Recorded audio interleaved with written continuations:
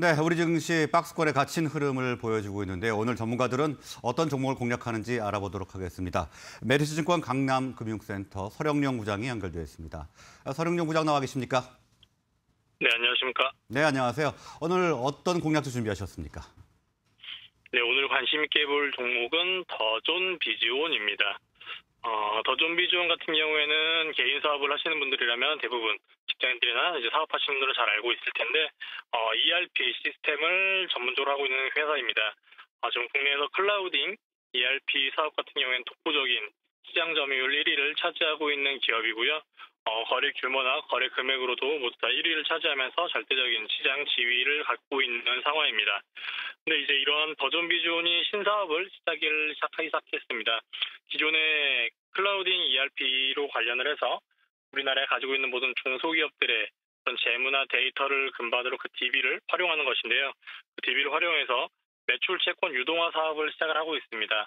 어, 즉 이제 기업들 간에 거래가 있을 때 이제 매출 채권에 대해서 3개월이든 1개월이든 먼저 할인해서 그 대금을 지급해주고 거기에 따른 수익을 취하겠다라는 것인데 여기에 대한 자금은 미래에셋 캐피탈과 한국투자캐피탈에서 자금을 충분히 지원을 받은 상태로서 어, MOU에서 지금 사업은 시작되고 있는 상황입니다.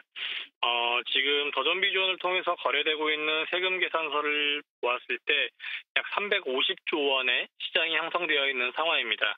그 중에 약 1%만 침투를 하더라도 어, 약 3조 5천억 원의 음, 시장이 생기는 거고요. 거기에 대한 영업 마진을 따져본다라면은 약 700억 원 정도의 영업이익을 추가적으로 확보할 수 있는 상황입니다.